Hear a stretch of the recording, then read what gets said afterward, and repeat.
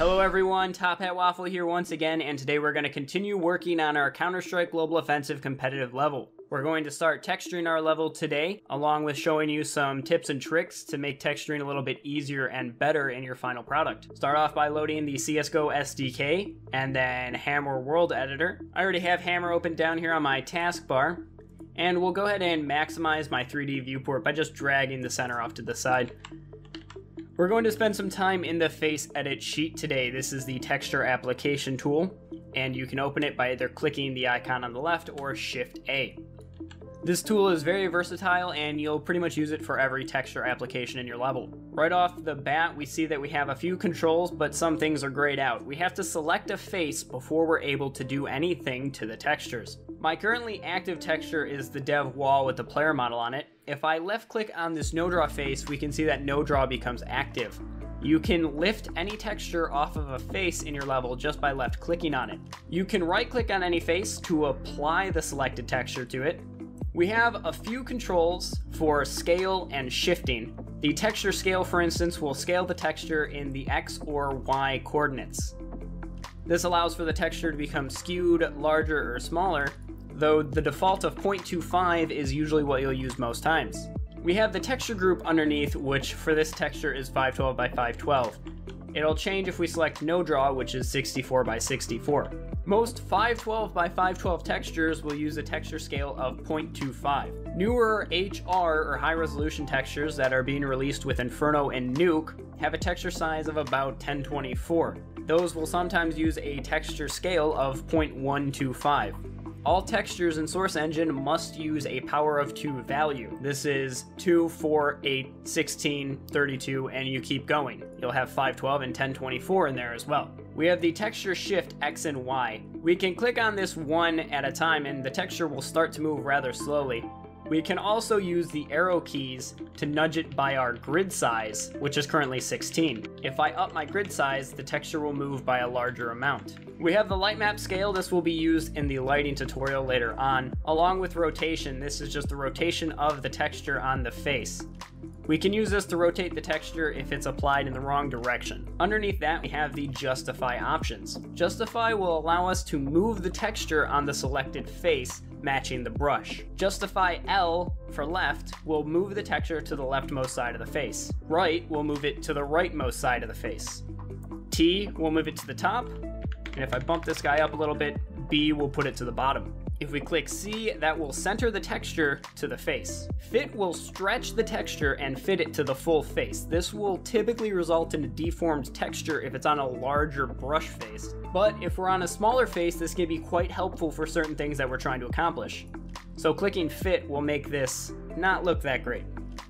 I'll set my texture scale back to 0.25 here, and then I'll just uh, justify it to the left and the top. If we choose justify left with multiple faces selected, it justifies them independently of each other. If we check the treat as one box, it will justify them as a group. This will allow you to justify entire faces at the same time. This doesn't work in practice on this brush only because of the angle. If I used justify with treat as one here, it will align these together. We have our texture groups here. You'll pretty much always keep this on all textures. And here is the current material. We can see our history of past selected textures towards the top and every texture that's available in the game, though it's quite cumbersome to actually navigate the materials through this little slide bar. We have hide mask, which will turn off the red selection mask when we have a texture selected. Browse, which will open the texture browser. The replace function will allow us to globally replace a texture in our entire level. If I've decided that I don't want this dev texture anymore, I can click replace, choose a replacement for it. For instance, if I decided I wanted all that to be brick, I can just click OK, and it'll replace that texture throughout the entire level. Typically, this feature will be used to replace all dev textures with no draw before you ship your level. The mark setting will mark or select all faces with the currently active texture. So if I select no draw and then click mark, it's going to select every face with no draw in the level. The apply button will apply the currently selected texture to the active face.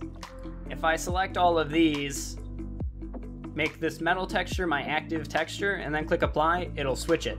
Let's actually texture something over here in T-Spawn. I figured that this wall here would be a brick wall of a building. If I click browse and then search brick already, I'm going to use this brick wall 45 texture set. We have A, D, and F. There's a few texture sets that you'll notice throughout your texture browser. These are typically sets of materials that work together to create more detail in your level. I'll start by grabbing the O45F, which is the bottom material for this texture set. If I right click to apply it to this wall, we see that we have three stripes here. This is the bottom of the material and it should be applied to only the bottom.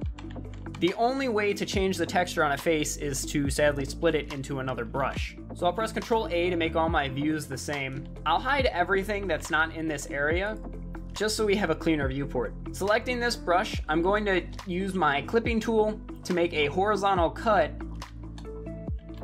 at the point where the texture repeats itself. Hitting enter to just split the brush in two, I can now select the top and bottom independently. I have to cut the top one as well so I can make the top texture different. Opening the face edit sheet again, I can now select the 45D texture, which is the top, and when I apply that, we see that we have this molding or trim on the top of the texture. There's also the center texture here, which we can just right click to apply. One thing that you may notice is when you start to zoom away from the wall, there's a slight white line here. It's harder to notice on video, but in game, this will be more noticeable. This is due to how texture filtering works and bitmaps. When you're further away from a texture in a game engine, the quality is degraded to help with performance. This is done by switching the face to use a lower resolution texture, which in turn will have more blurring, causing this bleed over on the lines. There's a very simple fix to this, and we just select all three textures, go to the vertex tool, we select these vertexes here, and bump them up about four units. And then we select these bottom ones and bump them down four units. We'll switch to the selection tool. It looks like nothing's changed because that middle repeating texture contains the same brick pattern as the other two textures. Now when we zoom away from the wall, we no longer have that white line there from the texture filter blurring. Now if we want to copy this onto another wall, there's a few ways to do this. First, we need to copy the same split marks from this wall over to the other. I can do this quickly by just grabbing the other wall, grabbing the clipping tool, and making the same cuts. Using the face edit sheet to left click to select this texture and then right click to apply it, I can just move all of these over to the other face. And now we have a quickly textured wall with three different textures on it. Most of what you'll typically texture in Hammer is flat walls, so we don't need to do too much special to it. But what happens if you want to start texturing those primitive prefabs like cylinders and arches that we made earlier? I have a wall with a quarter of a cylinder on each side that I want to texture. Using the regular right-click texture application tool will leave this not aligned properly. For instance, if I use this texture and just right-click a bunch of times on here, we can see that the player is not aligned properly in the center. If I select this as my source face and then hold Alt and right click on each face as I go along updating my source face, this will wrap the texture around, making it look much better. While this looks good for the dev texture, let's use a real texture so it reflects real world usage. Let's click browse and do search for wall. Up towards the top here, there is the baggage stripe with dirt. I'll right click to apply it to this face, and it's a 1024 by 1024 texture. I want to scale it down to 0.125 on the X and Y, then hit apply. I'll justify it to the bottom and to the right, and I need to split it in half so I can change the top to not have the bottom part of the material. I need to split this wall as well, so I'll select all of this and cut it in one go. Making a horizontal split with the clipping tool, and then bringing the face edit sheet back. I'll grab the top texture over here and just right click to apply it and set the scale. And just like the other texture, I'll justify it to the bottom and to the right. These now align without an issue. Now I just need to alt wrap it around. So holding the alt key on my keyboard with this face selected, I'll right click here and I'll do the same for up here. Once again, this ensures that the texture wraps around so there won't be a seam. Now selecting this as my source face, I'll right click here to apply the texture. I need to update my source face and right click again. So I need to update my source face constantly while I texture this. I'm holding Alt the entire time on my keyboard. If I don't hold Alt, we don't achieve the wrapping effect.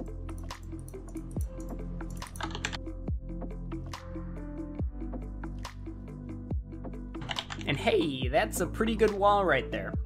The last thing that we should learn to texture would be sidewalks. I've created a sidewalk over here in T-Spawn that kind of follows this building. I'm going to use my VisGroups over on the right to turn off some unneeded stuff. I'll turn off all entities, I don't need those. I want to keep function details enabled. I've turned these sidewalks into a function detail, so if I turn those off, I won't be able to see them here. The sidewalk is composed of a few straight block brushes, an arch primitive prefab, and a cylinder cut in a fourth, much like we just textured. It then goes up this ramp and follows this curve into a brush over here. We're going to texture this using a sidewalk texture. If we open our face edit sheet, click browse, and then do search for sidewalk, the concrete HRC HR sidewalk A is the texture that I want to use. Inside this texture, there's a few subcomponents, as I call them, to make this entire thing come together. I'll apply it to the floor so we can quickly take a look at what's included. We have a gray part of the texture, along with what is going to be the front of the texture, and then the sidewalk squares itself. This is a prime example of packing textures together to get certain elements out of them to use on brushes later. So I'll select this and I'll put it back to uh, the dev texture there. I want to get the front of the texture first. This is going to set my scale.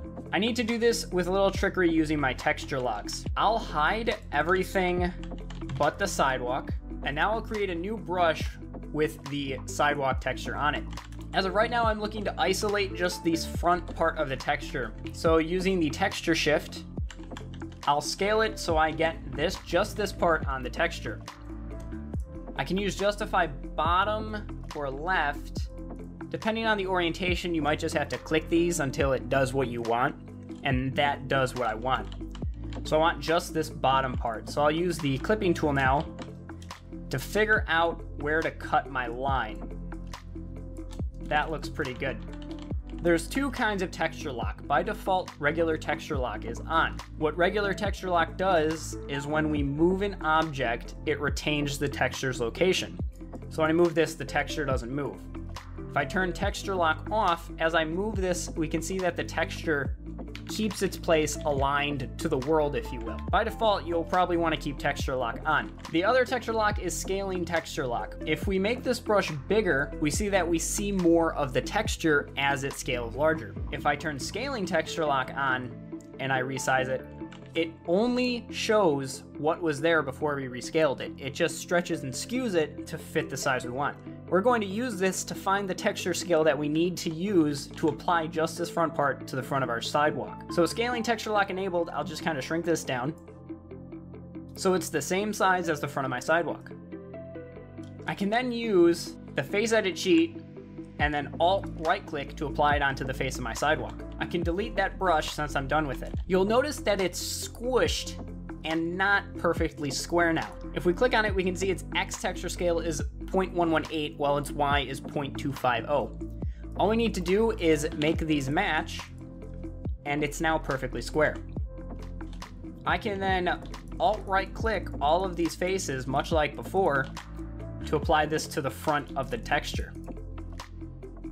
We run into an issue when we try to texture this slanted brush.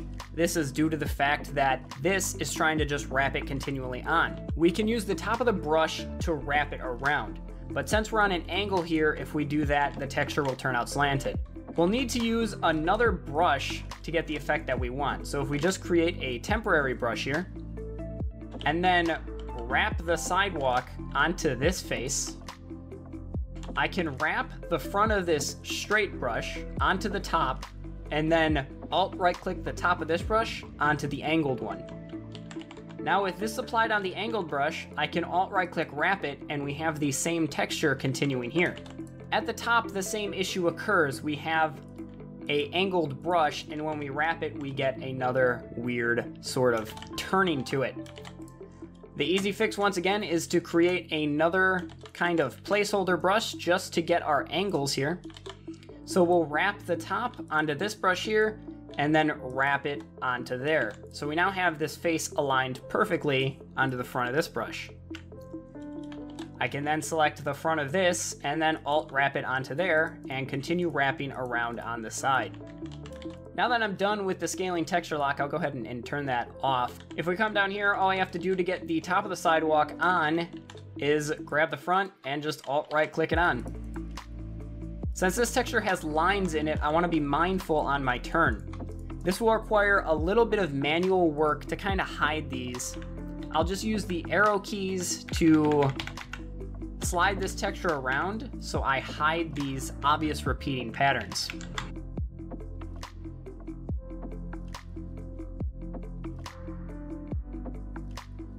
Then I can just continue to wrap my textures around.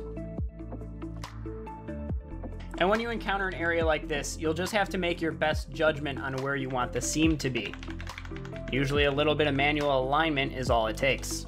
If you want to keep the front of the texture running around this, we'll need to split the brush. Since this was made with the arch tool, these are already on grid, we can just grab the clipping tool and make a cut. We want to make this cut from the corner outwards to where it meets in the center. And we'll just split the brush the entire way through. And now when we alt wrap it, we'll get the front of the texture. We have the same issue now before where the texture has these seams in it.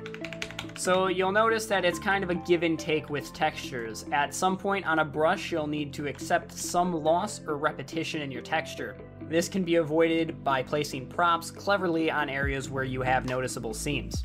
I'll unhide the level and turn everything back on in my VisGroups by just double clicking auto. That's pretty much gonna do it. Let's compile it and see what it looks like in game. And here we are in game. If we open our console and type map space the map name, we can join a team, kick the bots. We have our simple textured wall with the three textures, the molding on top, down in the Metro, we have our curved wall with good alignment since we alt-right click wrapped the faces.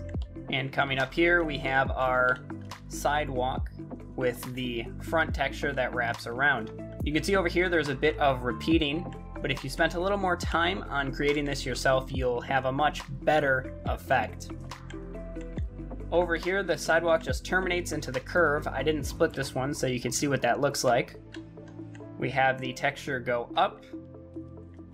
And over here, the front of the sidewalk is represented on the front since we split this brush up. I hope you enjoyed learning how to apply textures to brushes in your game along with the primitive prefabs that we've created in previous videos. Thanks again for watching. Join us tomorrow for the next one and stay frosty.